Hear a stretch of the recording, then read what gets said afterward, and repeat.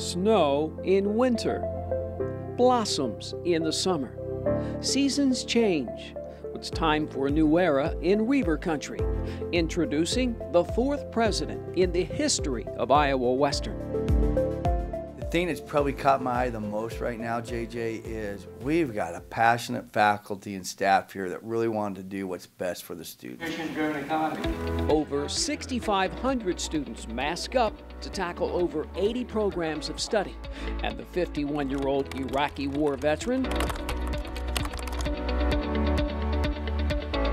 months of study, and most importantly, listening. Student initiatives and student activities, but we really want to get staff and faculty more involved. Six months is, you know, a lot of listening and maybe some fine tuning and working with people and really supporting them.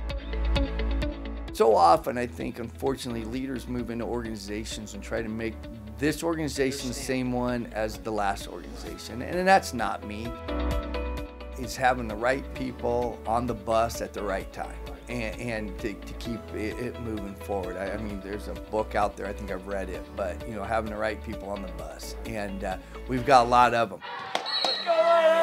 I'm big into that team family atmosphere. I, mean, I want people to know if I have a student athlete's having an issue, where to go, or if I'm having a problem with a student athlete, where to go, or student services and things like that.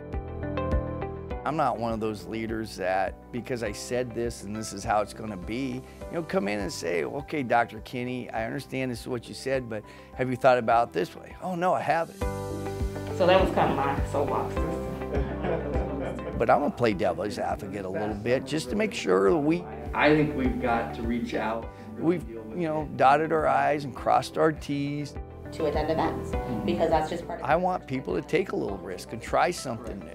But we, we need that buy-in across campus. Goals that I think we as an institution are, are going to be looking at is number one is you know our onboarding process of our students, our retention of our students, and then our graduation of our students. I think those are three very important. You got great people they have it. They're, the ideas are there. I don't have to bring them. I, I mean, uh, you know, to them. Because we have some really good people, some really great ideas. Now we just got to capitalize. And so it's the dawn of a new era in Reiver Country. Seasons change, and so does Iowa Western.